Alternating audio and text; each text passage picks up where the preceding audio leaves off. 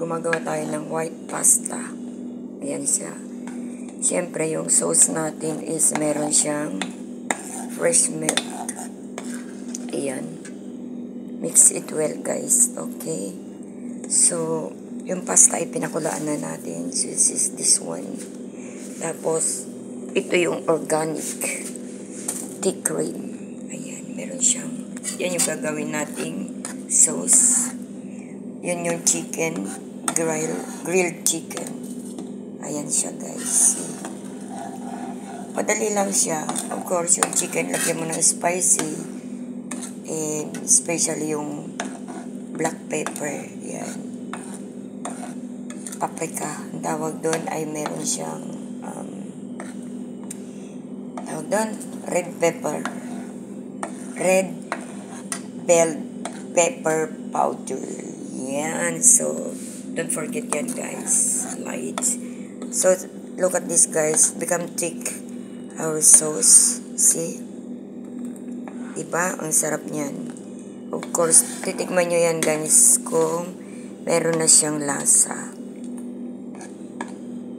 Yan. Then, after, ihuhulog natin yung ating pasta. Right now. Right away yan dyan. Saglit lang. Marami po tayo. Sorry. Po tayo. Sorry naman. Ayan. Which is, baka marami. Kontrolin nyo lang, guys.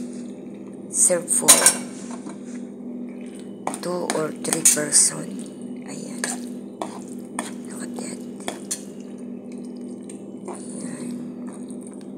Diba? Lagyan na natin lahat. Ayan. Bali, half, ano yan, half uh, kilo ng uh, macaroni. Yan. And then, ilalagay na natin yung ating chicken. Grilled chicken. Yan siya. See?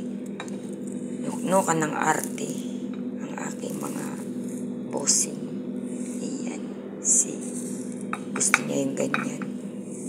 Ganyan-ganyan pa. Ay, naka-lord. So, look at this, guys. Yung ating pasta. See? Every now and then, lagyan nyo ng ating cooking with love. Alright? Look at that. See? And of course, yung ating cheese. Chisam. Mozzarella. Ang kawalang kamatayang mozzarella. See guys. Niingatan ko guys kasi baka mag-off na naman yan. Hanggang sa mag-melt yung mozzarella niya. Now and then, Of course, tulog lang.